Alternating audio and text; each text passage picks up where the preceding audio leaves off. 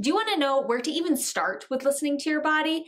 It's overwhelming. I totally feel you. So in this video, I'm going to give you five simple steps to take in order to be able to actually listen to your body and ditch your food rules. At the end of this video, you're going to have a roadmap of how to start to listen to your body, and that's gonna make learning this whole intuitive eating thing way easier.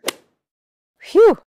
Take a second and give this video a thumbs up if you're excited about this topic and subscribe to the channel if you haven't yet. Let me know in the comments if you are a new subscriber or an OG subscriber, you've been around for a while. I love getting to know you guys. Not only are these the exact five steps that I have used in order to live a life of no food rules and listen to my body, it is now the steps that I teach all of the other food rule breakers out there. There are thousands of them to listen to their bodies too. All of these food rule breakers are able to not obsess over food anymore anymore. They're able to learn to love their bodies, go on impromptu date nights and hit ice cream after without worrying about the calories or any weight gain. They're able to live their lives and, dare I say it, crave veggies. Yes, I said it. They're able to crave veggies because they're listening to their body. And at the end of this video, you'll be able to do that too. I'm going to give you a little sneak peek at some of the extra resources that I'm gonna have for you coming soon, so be sure to stick around to the end to see that.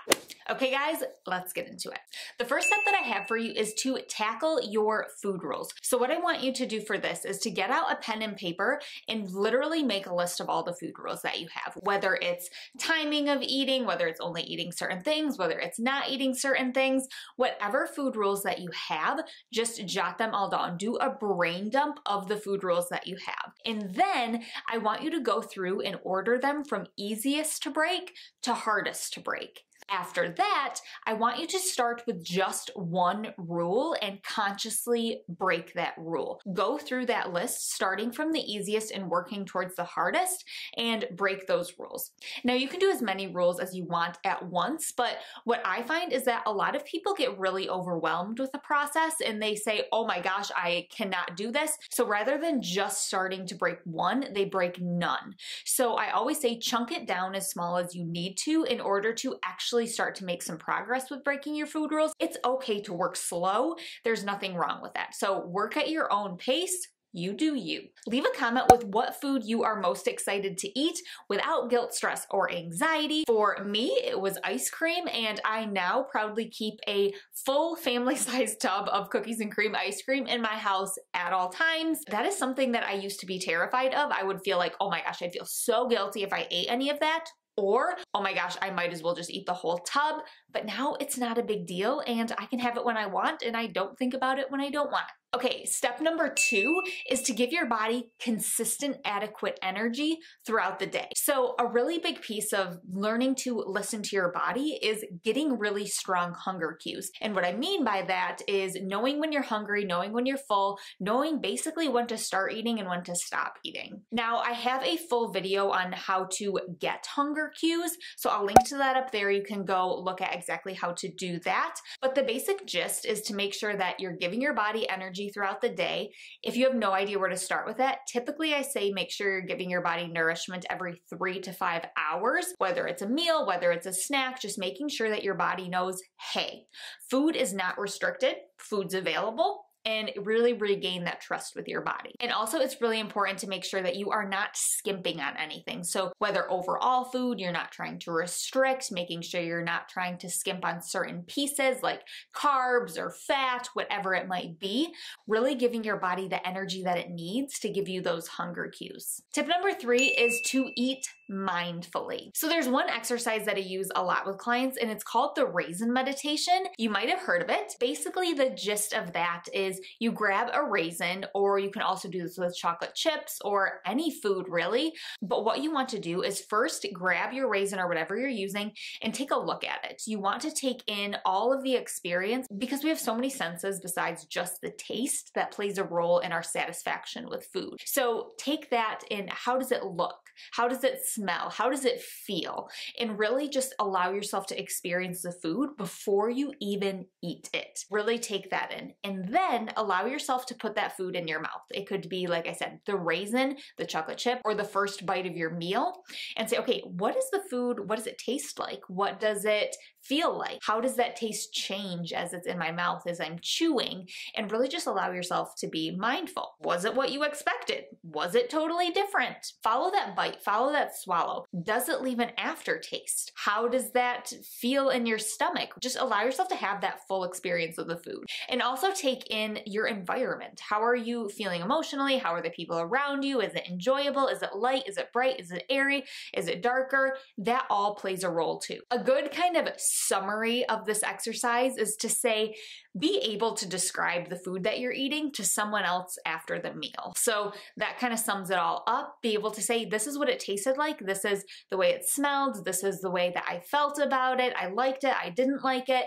Be able to explain the whole experience to someone else is a really great way to say, okay, am I eating mindfully? Could I explain this? And you can simply start using this just by saying, okay, I'm gonna be mindful at one meal a day, I'm gonna use this.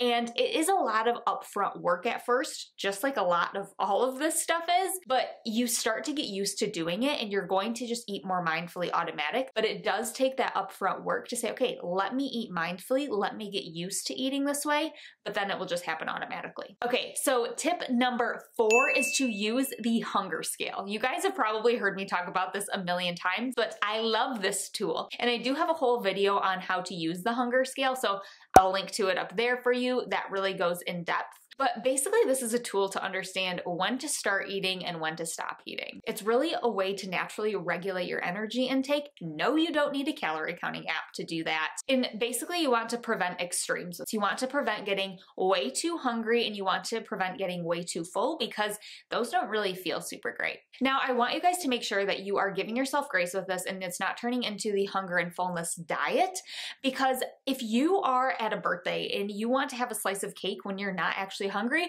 do it. That is part of living life. You don't have to only eat when you are hungry and stop when you're full. And if you watch that hunger scale video, it's going to go into a lot more detail on those instances and kind of the nuances of the hunger scale.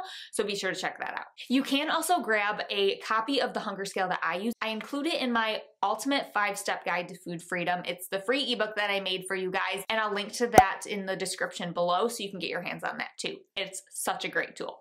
Okay, and number five is a food and mood journal. Now, you guys have probably heard me talking about this a little bit. I referenced it in my food intolerances video that I did a few weeks ago, and you guys loved it. I've gotten so many requests for a little bit more information on it. So basically what it is, is it's just a reflection on the way that you're eating and how it's making you feel mentally, emotionally, physically. Does it feel good? And I want to be very clear, this is not a food log. You're not writing everything that you're eating. So basically what you do is you get a journal. You guys know I love journaling because there's so much proven power in the act of writing things down, but just take a journal and allow yourself to reflect. That's really what this is. It's a reflection and an observation. You're saying, okay, these are the types of things that I ate this week, or this is the style that I ate. Did you eat emotionally? Did you feel like you were nourished?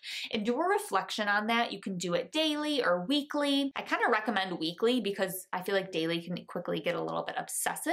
And then ask yourself, how can you adjust? Were there foods that made your tummy upset? Maybe you want to adjust that a little bit. Did you feel like you were dragging or you're fatigued? Maybe you need more energy. Did you feel like you were going to the extremes of the hunger scale at all throughout the day? Maybe you need to adjust that and maybe add a snack in if you're getting hungry. Just make that a observation. So, okay, this is the way that I ate and this is the way that I felt after. Mentally, physically, and emotionally, those all play parts in our satisfaction with food and really listening to your body. And that's it. Those are the five steps that I recommend you start with when learning to listen to your body. Now, next week, I'm going to share some of my other favorite resources, my favorite books, actually, the books that I first read personally when I started intuitive eating and started listening to my body and ditching my food rules. So get excited for that video. It's going to help you even more. Yeah! Be sure to give this video a thumbs up if you liked it and subscribe to the channel if you're not. It does does really help to support my channel. And with that, I will see you guys next Sunday, 5 p.m. Eastern time. Every Sunday, new videos are uploaded. See you then. I think I can catch this in my mouth. Nope. Did I chip my tooth?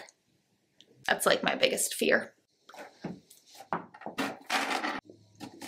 We're gonna stop doing that now.